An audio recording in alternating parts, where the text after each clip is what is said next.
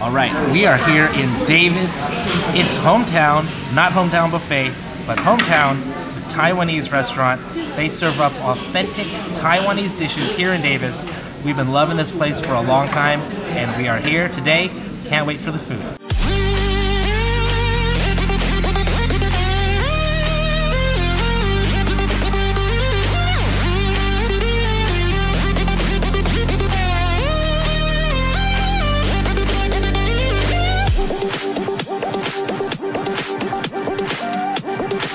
Hey, what's up? I am at Hometown in Davis, and Hometown is a Taiwanese cuisine restaurant.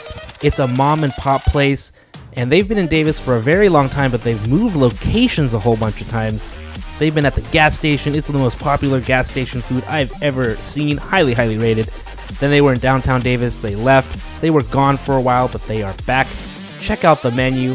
They have appetizers, dumplings, noodle dishes, and rice dishes. Every dish is amazing. I brought my little kid here.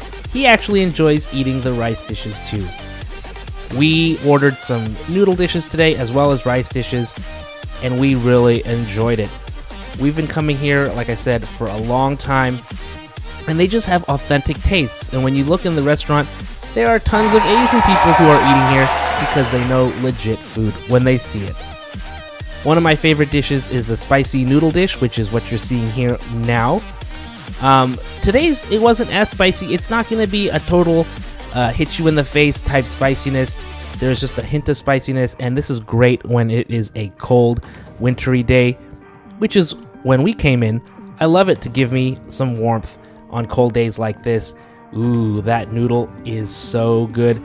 And it's a filling noodle, it'll fill you up and leave you really, really satisfied.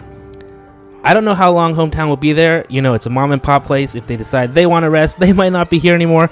So you better check it out soon if you're anywhere near Davis, California. This is another Sacramento Eats. Thanks for watching. I will see you next time.